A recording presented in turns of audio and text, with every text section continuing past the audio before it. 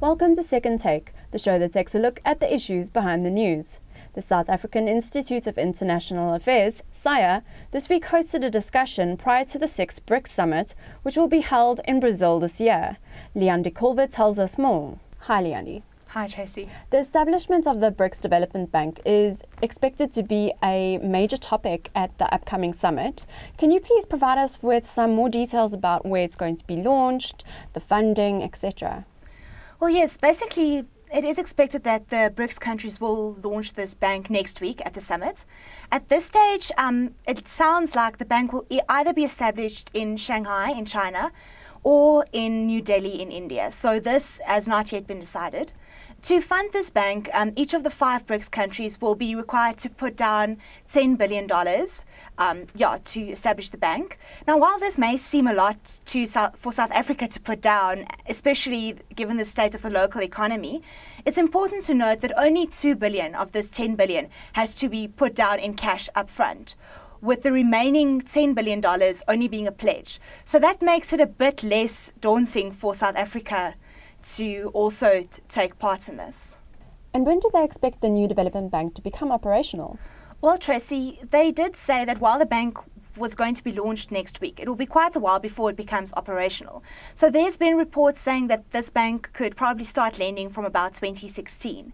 And then in the longer, longer term, there are also plans to grow the bank's um, capital from $50 billion to $100 billion, which will then assist it to do so much more at a later stage. And how is it, uh, the establishment of the bank expected to benefit BRICS countries?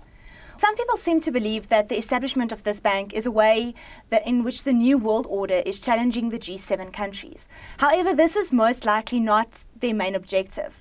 They rather want to institutionalize BRICS.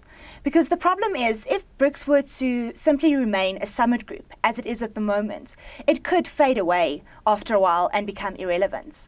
And then also, the establishment of this bank will make a lot more of economic funding available, which is always a good thing. And some commentators believe that the establishment of the bank is going to draw other countries to join the BRICS grouping.